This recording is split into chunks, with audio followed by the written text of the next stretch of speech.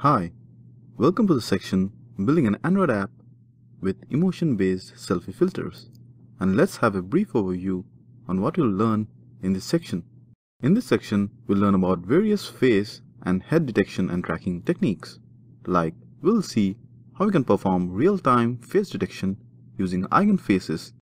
We'll then see how we can estimate the pose of the head of the person in 3D. We'll next see how we can use some pre-existing classifiers along with OpenCV called Haar-based classifiers and use them to detect faces of cats and humans. We'll next see how we can detect landmark points in a face using the dlib library. We'll also see how we can morph faces, swap two faces, and mask a face using dlib as a face landmark detector. And we'll finally accomplish the project for this section, which is to build an Android app with emotion-based selfie filters. In this video, we'll learn about how we can perform real-time face detection and recognition using eigenfaces. You'll also see how you can use PCA to perform dimensionality reduction in order to make it feasible to detect faces in real time. We start by discussing on high level on what eigenfaces is and what are its applications. Next we'll learn about principal component analysis and how it can be used to reduce the size of the feature vectors by only saving the features that are most significant. We'll next see how PCA aids in generating eigenfaces from a digital image, followed by how we can use images represented as eigenfaces to detect presence of face in an image, and further determine how it can be used to recognize a face in an image post-detection. Let's start by getting a high-level idea on what eigenfaces are.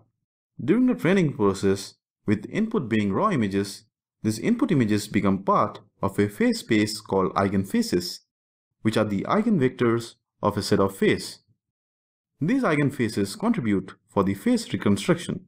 If a new face image projected into the same face space due to the learned face weights, this projection of new faces is compared to available projections to identify the person based on the Euclidean distance.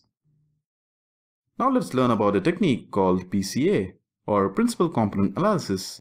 It is very useful for getting out of the curse of dimensionality. The goal of PCA is to reduce the dimensionality of data while retaining as much information as possible in the original dataset. This best low-dimensional space can be determined by the best eigenvector, which is the eigenvector corresponding to the largest eigenvalues of the covariance matrix X. Next, let's see how PCA is computed mathematically. Here is the methodology for computing the PCA of input data of shape n by 1. Take some time to understand what's happening in every step of the PCA process. Once you have understood what the PCA methodology does, let's see an example of computing principal component analysis on a sample data and analyze the loss to get a better understanding on what we just learned. Now we'll see how we can extract principal components from images. For this example, we'll be using the Yale dataset for computing the principal component analysis. So as a first step, we input the images from the Yale dataset and set a size factor by setting the width and height as 100 by 100. For this example, we have also defined an eigenface class initializes with the image path which contains a subset of the Yale faces. And we also compute a downsample factor which is the ratio of the size of the image in the Yale dataset with the constant size that we have defined earlier. And we use this downsampling factor. Once we are done with reducing the size of the image by a sample factor we store this image into image bin and we calculate the vector representation of the reduced images by using the function getVector. Now let's see the implementation of the function getVector. So inside getVector, we loop through all the images that we just set in the variable image bin and we first flatten the image by using the flatten function. Flattening the image gives us a one-dimensional image vector and as a next step we concatenate this flattened images column wise to get a 2D vector and finally return this 2D vector. And next is the function that computes the PCA, which is get PCA in this case. So the first step, we find the mean vector for which we use the mean function on the vector matrix applied on the axis 0. And next, based on the PCA algorithm which you have already seen, we subtract this mean vector from every other image vector, followed by performing single value decomposition, which is used for factorizing the vector matrix, which gives us three values, u, s, and v, where s is the standard deviation and v is the eigenvector and set these values, which are the eigenvector, the variance proportion, and the mean vector, and return them as the output of the PCA function. So here is the output of the above API. So we first input the Yale images, and then we perform PCA and get the eigenvectors. So these are the eigenvectors of the images of a sample of the Yale dataset.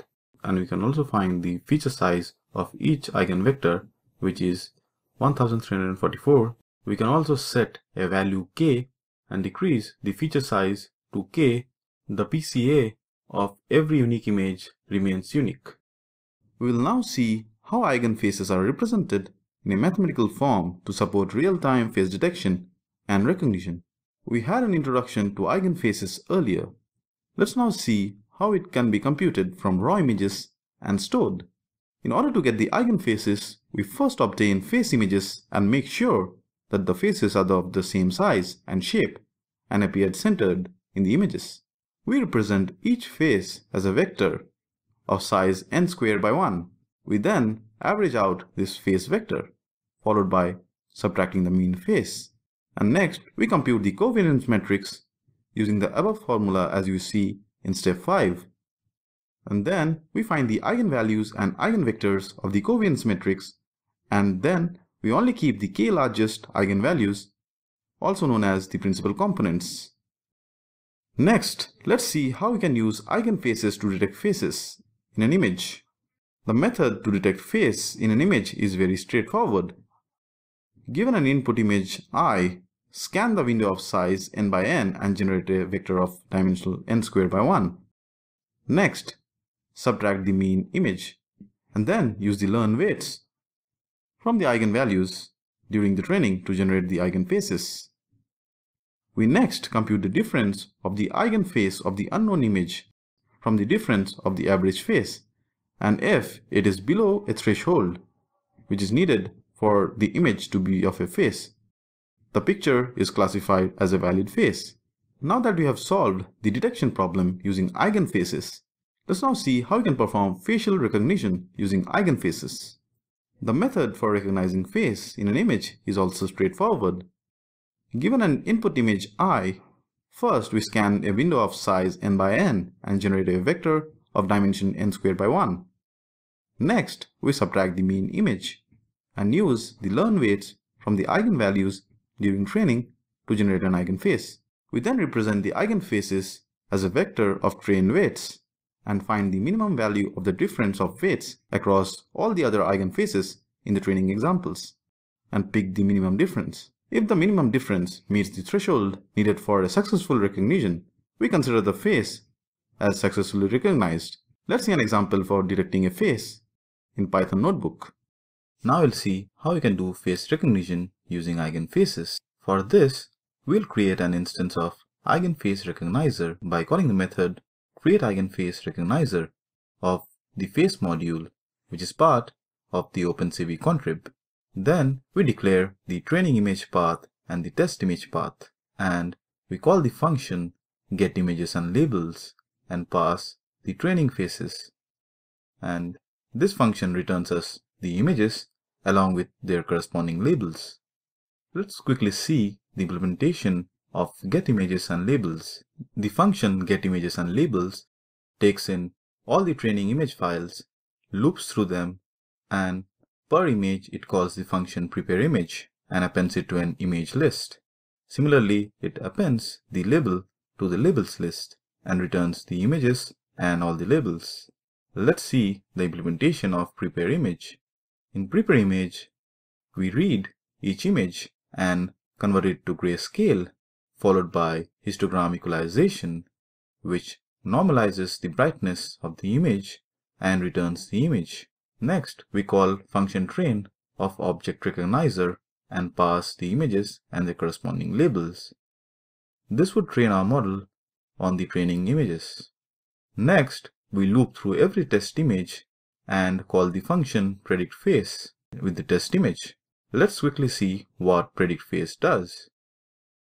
Predict face takes each test image and calls the prepare image function on each test image, which gives us a histogram equalized grayscale image. And then we initialize a collector by calling standard collector create of the face module and pass it to the predict collect method of the recognizer object, the information regarding the prediction of the test images. And in our case, we are interested in getting the minimum label of the image that has the minimum distance with one of the training images. And we save the label into a variable called nbr and then we display the input test image and the predicted image and its label. Let's see the output of this following program. So as you see here, we have trained the images and as you can see, so here is the test image and the predicted face for the above test image, which is right. And the eigen recognizer in this case was able to recognize the faces correctly.